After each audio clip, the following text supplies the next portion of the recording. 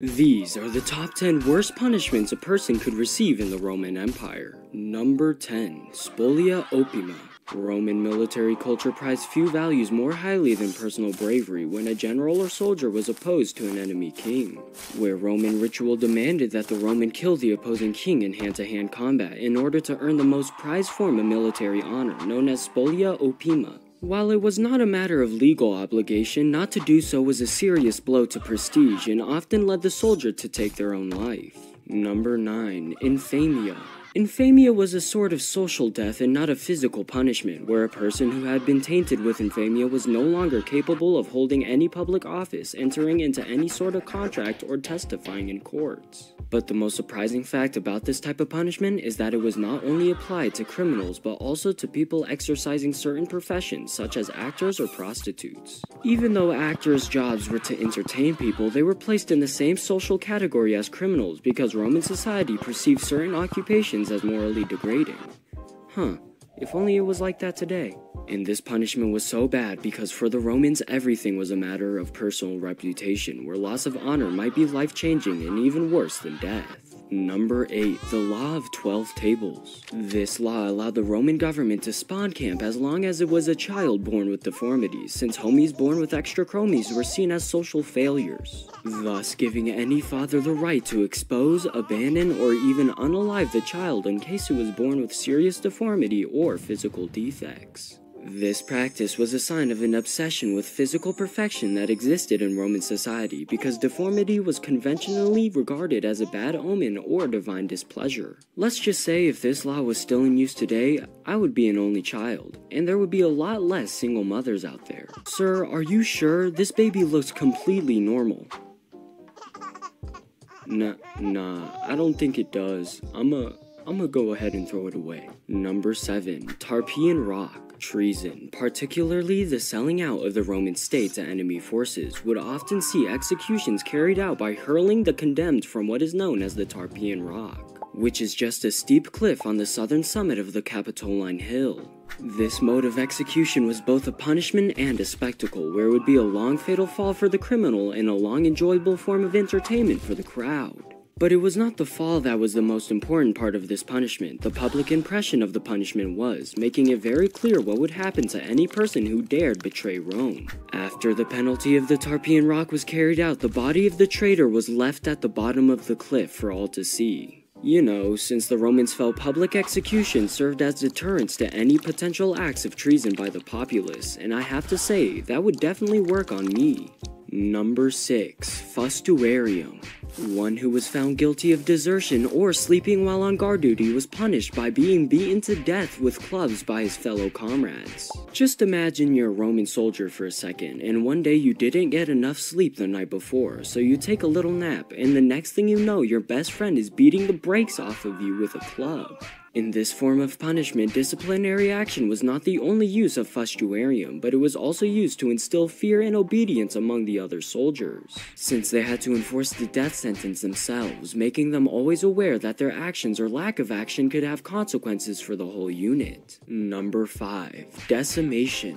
One of the most dreaded sentences one could receive in the Roman military was decimation, which was reserved for units guilty of cowardice, desertion, or mutiny. It's like the last law, but on major steroids. Under decimation, the offending unit would be divided into groups of 10 and one soldier in each group chosen by lots would be beaten to death by the other 9 where the randomness of the selections invoked a different level of terror within the soldiers because any of them could be selected. It was a psychological tool as much as a physical punishment because it was enforced to break the morale of the group to instill a collective discipline, deterring any ideas of disobeying the Roman Empire ever again. Number 4. Manus Marriage the authority of a husband in early Roman society was virtually absolute over a wife, just the way I like it, particularly in the case of a manus marriage, where a woman was legally at the mercy of her husband. For example, if a wife was found guilty of adultery, the husband retained the right to punish her, often by embarrassing her publicly. And in extreme cases, he could kill her or give her to her father for execution, and that has to be one of the most wild things I've ever researched. It is literally every father's worst nightmare to find out that their daughter is a thought, let alone in this manner.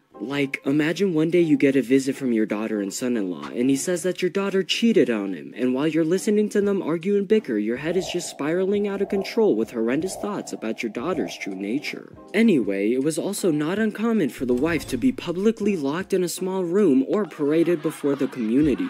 If this law was still in effect today, Miami would literally have a parade of about 10 women like every single day. Number 3. Buried alive. A lot of people's worst fear is being buried alive, and the Romans, being sadistically creative, used it as one of their legal punishments. One of the most respected roles that women played in ancient Rome was that of Vestal Virgin, a priestess of the goddess Vesta. The job of these women was to guard the holy fire of Rome, for which they had to take vows of celibacy for as many as 30 years. In the event that one of the Vestals did breach their vow of celibacy, the punishment would be very, let's just say, suffocating. The guilty woman would be brought to a small underground chamber with some food and water and left to die there slowly by, you guessed it, suffocation or starvation. Was it really good enough to die for Octavia? It was. Stalin Phallus. Oh. well, you know what? The Greeks thinks he's stupid, and if I could throw you down here twice, I would. Number 2. Poena Cullei. Patricide, the killing of one's father, was considered one of the worst crimes imaginable in Roman society since it demonstrated a gross violation of family and social values. Punishment for patricide was very strange, but you gotta give it to them. The Romans were creative as hell. Now, most of you probably know about this one, but the guilty party was sewn into a leather sack with a collection of animals, like a dog, a rooster, a viper, and a monkey, and then thrown into a river. It's creative because these are like the worst animals to be stuck in a bag floating on a river with. The dog would be freaking out and biting you, the rooster would be freaking out and pecking you, the monkey would literally be going apeshit and punch you, and the viper would be doing what they do best, which is inject you with venom. The only way I see this getting worse is by replacing the rooster with a cat. Number 1. Crucifixion.